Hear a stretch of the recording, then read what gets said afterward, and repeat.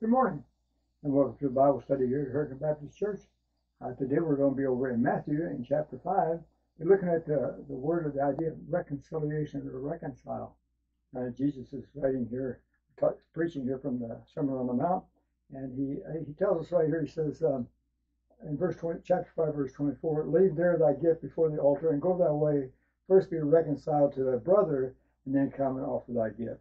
So how do you reconcile? There's been a division. He's talking about a brother, not a sibling. He's talking about a brother in Christ. He said there's been a problem between you. so before you bring your all your gift, he says, go make it right. If we back up to verse 24, we would see that he says that that brother hath aught against thee. So that the, the brother is something against you, something has happened that you have offended the brother. And so we need to be reconciled. He says, make it right. And uh, sometimes we hear people say things like, well, you don't know what they said or you don't know what they did and, and how this makes me feel. And I just uh, let, let them come to me first. Uh, they're the ones that caused the problems. I didn't cause the problems. And we see that uh, when we look at it from that point of view, and we see that we're not really loving our neighbor as ourselves. You know, the commandment to love thy neighbor as thyself, we're not doing that. So we're taking a more selfish attitude toward it. And uh, he tells us that it's, it's the heart to be reconciled with one another, be in one mind as, as part of the body of Christ. Um, we get over here to verse uh, in chapter 5, verse 43. He says, Ye have heard that it hath been said, Thou shalt love thy neighbor and hate the enemy. But I say unto you, Love your enemies, bless them that curse you, do good to them that hate you, and pray for them which despitefully use you and persecute you. So we see that in this new covenant in the New Testament, uh, Christ is telling us that you know things have changed. It's no longer what you do out here in a physical sense, it's what you're doing in your heart, how your heart is. And that's the idea of the reconciliation. Um, I know sometimes we can get our feelings hurt and we can get all upset. Uh, what we need to stop and think about sometimes is what, you know, what does this do to the body? Uh, what about our testimony? Uh, we a lot of times we forget about it. If you're having trouble with a brother in Christ, and, and especially one within your own congregation where you go to church, if there's a problem there, that's going to affect the whole body, and people are going to start kind of taking sides and and, uh, and can create a real schism within the body. And, and God does not like any division in the body. We're called to eliminate that kind of thing. We're called to we're called to do all we can to to reconcile and to be one in mind, heart, and spirit, and be one in the Lord, that we might be a, a force in the world that we're in, that people might see Christ in us. That if Christians can't get along, you know, we have uh, problems, and, and we, we do, we'll have disagreements. You know, those things come along. We get, people get talking about politics and one on one side and one on the other, and we get talking about uh, things like that. And, and we can have some disagreements even in the style of worship and that. But we don't need to be at, having that division to where we can't uh, reconcile, where we can't get along and, and be uh, respectful and, and, be loving to one another. I have a, a couple verses I want to read over in uh, Romans chapter 12 here. Romans chapter uh, 12, verse uh, 17 and 18. He says, Recompense to no man evil for evil, provide things honest in the sight of all men. If it be possible, as much as lieth in you, live peaceably with all men. So it goes back to what we talk about over here to, to reconcile, do what you can do. And if, if the person that you're having a problem with or has a problem with you won't reconcile, if they won't change, uh, you can't do anything about it. You can't make them, but you can sure be loving and forgiving, you can be caring about it. He tells us over in um, chapter 5 in Matthew, in verse 43, you've heard it, it has been said, Thou shalt love thy neighbor and hate the enemy. He said, But I say unto you, love your enemies, bless them that curse you, do good to them that hate you, and pray for them which despitefully use you and persecute you.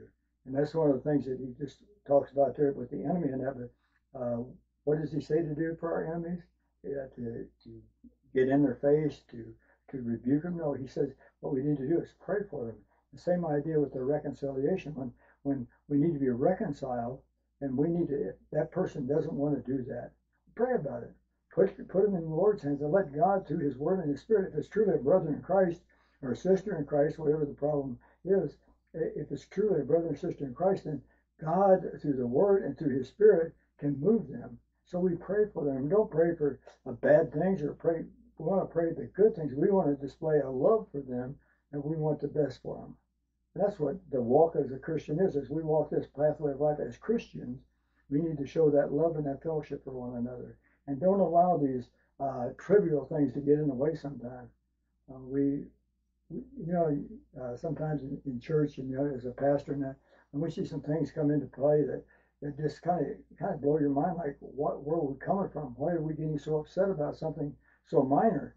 Uh, you know, people have those uh, those areas where they, they, they like they call their hot button, and uh, so they can get all upset over something that seems so trivial to you or to me, and to them it's a major issue and needs to be resolved. And so we need to be sensitive to those things as Christians.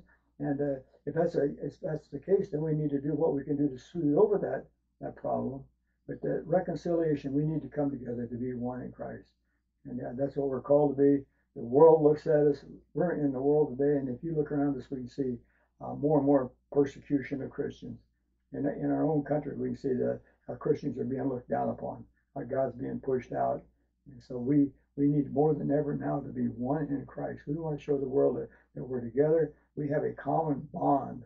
No, we're all have, we're all as Christians we're indwelt with the Holy Spirit of God. He's within us.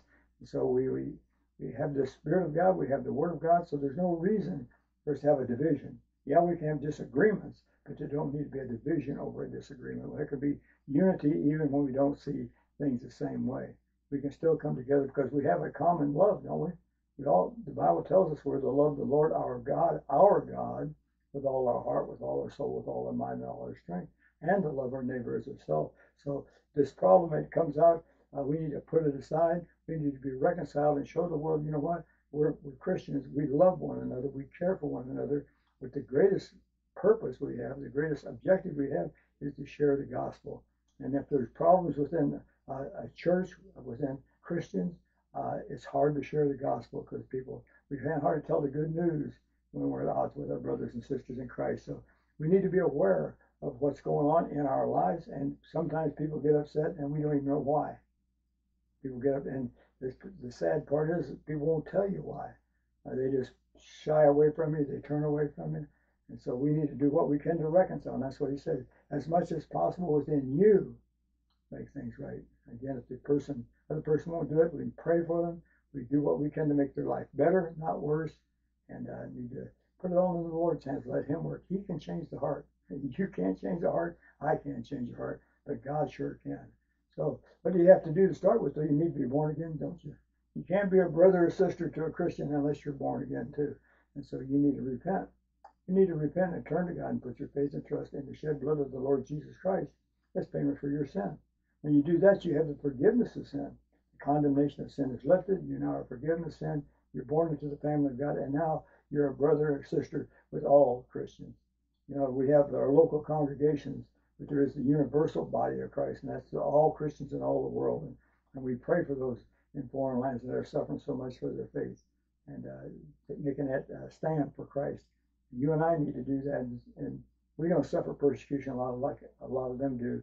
So when the, our feelings get hurt or we get upset, we need to put it aside. We need to understand our purpose, our call is not myself. It's not about me. It's about Jesus, and we want people to see Christ in us. So, whatever your place is in life, what you need to do is repent, turn and put your faith in Christ, be forgiven of your sins, and you'll have eternal life. Let's pray. Heavenly Father, we do thank you for this day and for this time. We pray you would be with each one of us as we walk this path way of life, Lord. If there be any uh, problems in our relationships with brothers and sisters, we pray, Father, that we would reconcile, make those things right so we can be a united force against the evils of this world, Lord. We just thank you for loving us. We thank you for what you've done. For those that don't know Jesus, we pray this would be the day, this would be the time that they would repent, turn to you, and trust Christ. Trust that shed blood of Jesus as payment for their sins. And we know you'll forgive them and cleanse them and give them eternal life. We praise you for what you've done and for what you're going to do. For in Jesus' name, amen.